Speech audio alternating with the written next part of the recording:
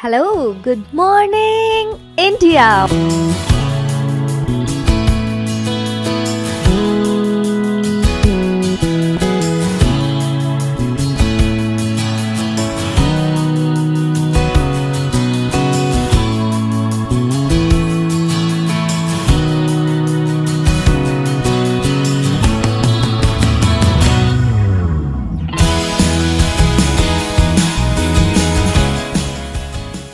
Monday to Friday back to back classes live from studio आज ही subscribe करें WiFi study channel को। Hello.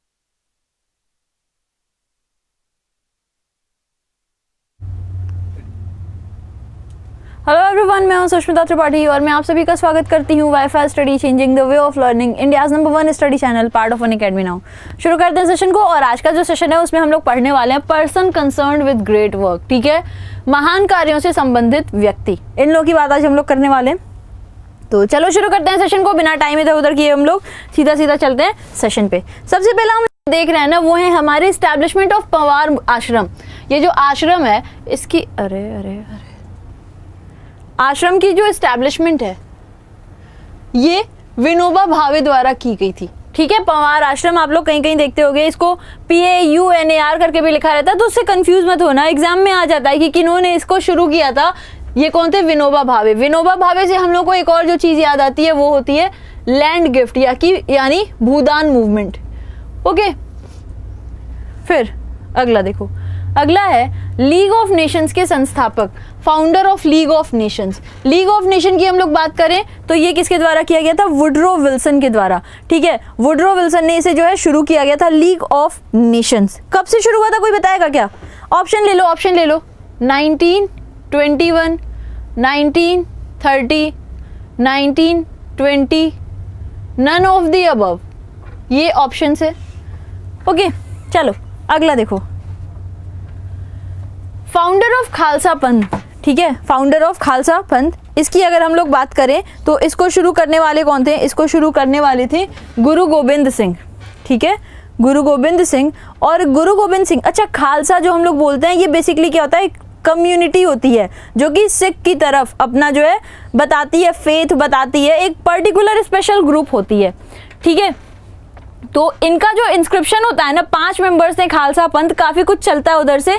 खैर, इसको आप लोग याद रखिएगा कम्युनिटी जो है, ये सिख रिलीजन को अपना डिवोट उसके डिवोटीज होते हैं, श्रद्धालु कहोगे ओके चलो तो खालसा पंथ जो है, ये गुरु गोविंद सिंह जी ने, इनके संस्थापक थे। अच्छा ये कौन से नंबर के कोई सिख गुरु थे या नहीं थे?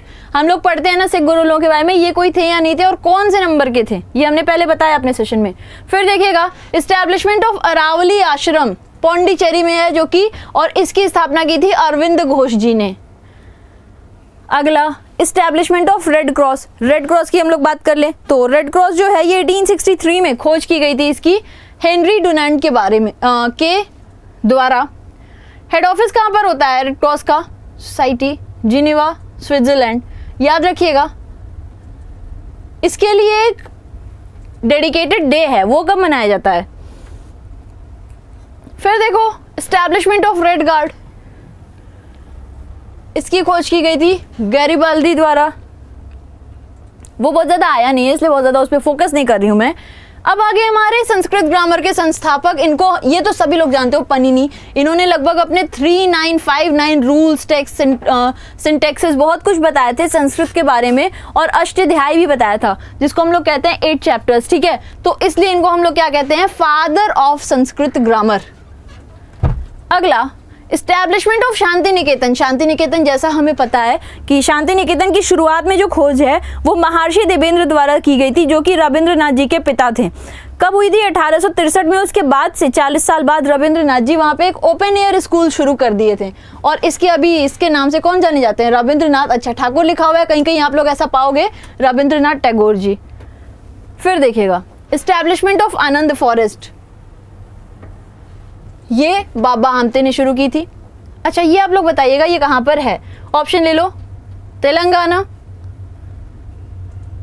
गुजरात, राजस्थान, महाराष्ट्र, या कुछ भी नहीं। अगला है इस्टेब्लिशमेंट ऑफ़ विश्व भारती, जो कि एक इस्टेब्लिश्ड यूनिवर्सिटी है।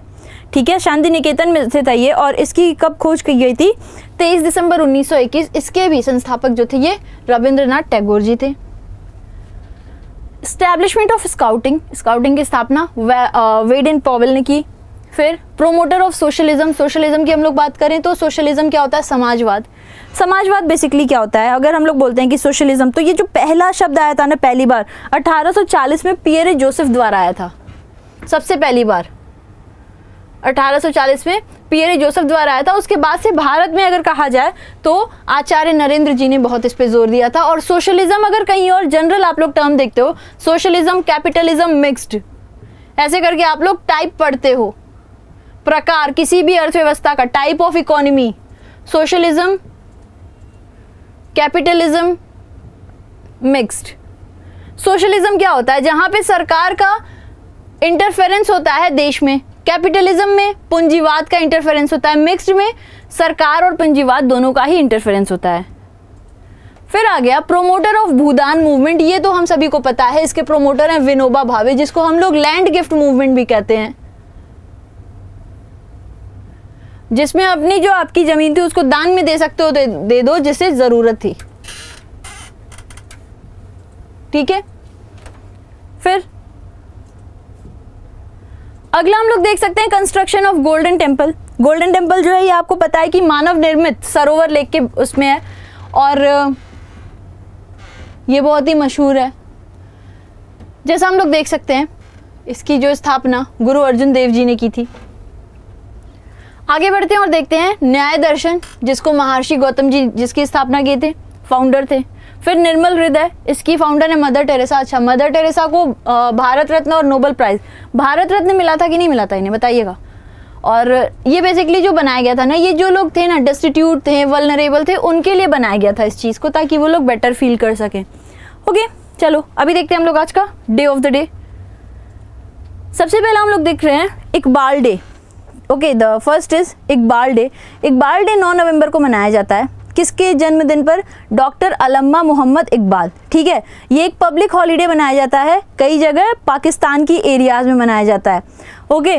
तो इनका पूरा नाम आप लोग याद रख लीजिएगा। क्या नाम था? डॉक्टर अलम्मा मोहम्मद इकबाल। फिर है 9 नवंबर को National Legal Service Day.